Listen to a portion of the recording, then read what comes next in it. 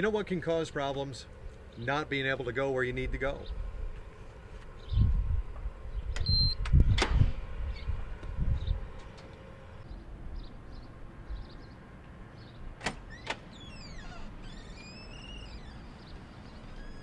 You know, in this concept of not being able to go where you want to go causing problems, well, this is especially true with air conditioning. I mean, when you think about it, what we're trying to do is transfer heat from inside a building to outside a building.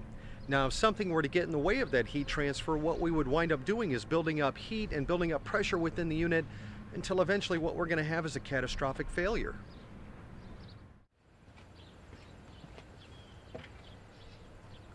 This is a very typical Bard wall mount unit a system you might find on telecom shelters, utility shelters, schools, offices, and really buildings all over the world. Specifically today what we're focusing on here at eye level is the condenser coil.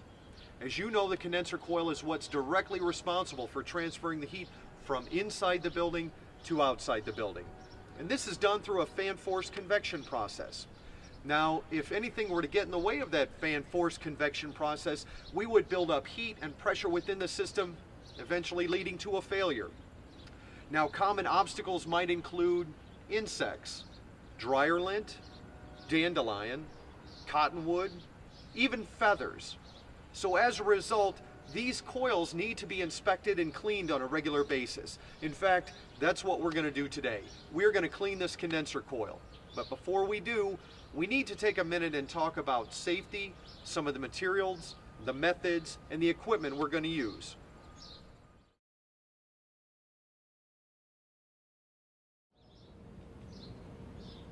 When cleaning a condensing coil, the primary tools involved will be liquid condenser coil cleaner, an application sprayer, and a garden hose with a plentiful supply of fresh water. Now really, these are the only non-negotiable items necessary to cleaning a condensing coil.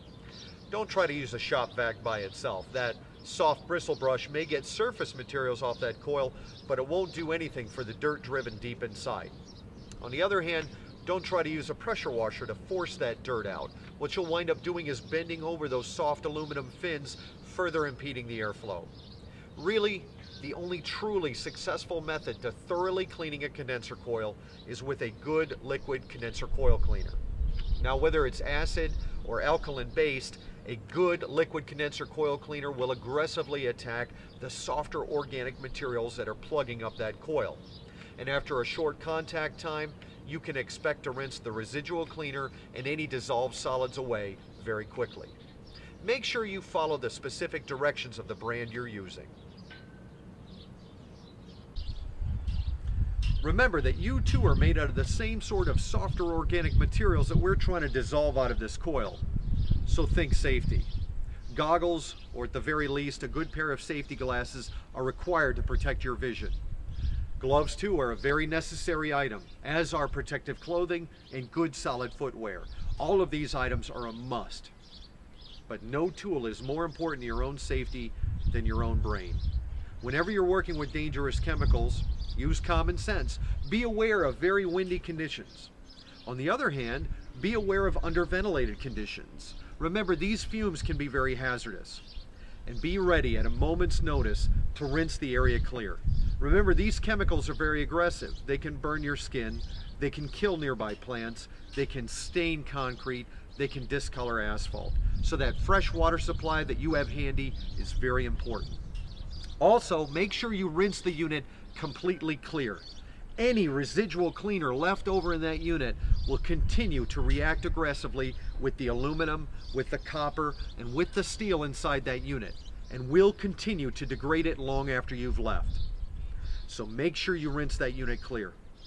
And since we're using running water, before we do anything, we have to make sure that we shut down all electrical supply to the unit before we begin.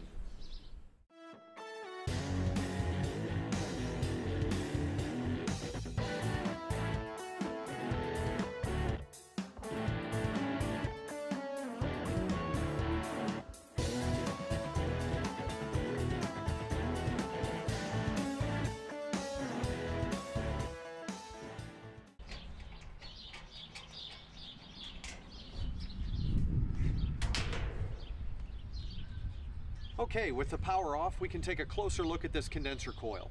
And at first glance, this condenser coil appears very clean. However, looks can be deceiving. Bard wall mount units often will operate differently than other air conditioners. Most air conditioners will pull their condenser air through the front of the condenser coil and eject it out of the top of the unit. Bard wall mount units, on the other hand, often will pull their condenser air from the sides and eject it out the front.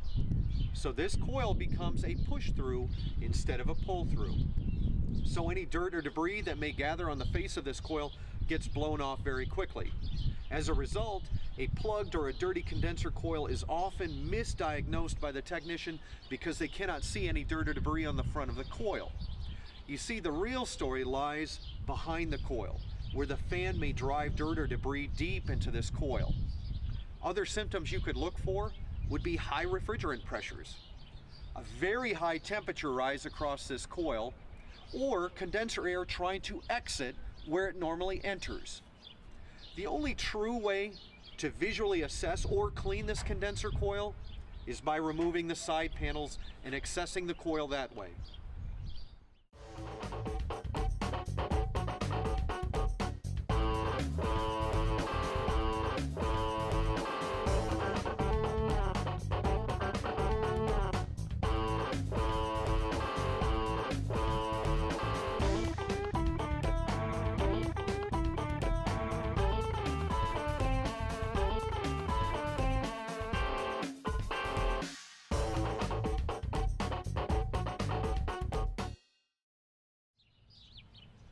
With the side panels off, we can now loosen the condenser fan motor shroud from the chassis, unwire the condenser fan motor from the control panel, and then remove the whole fan and motor assembly and shroud for ease of access and a super thorough coil cleaning.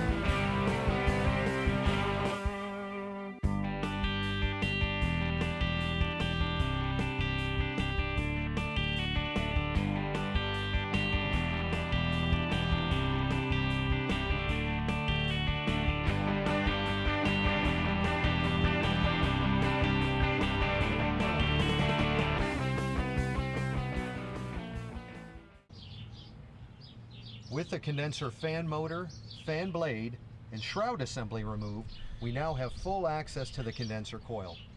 Realize, however, as you're visually assessing the condition of this coil, this coil removes the vast majority of its heat through the edges of the coil, not the center.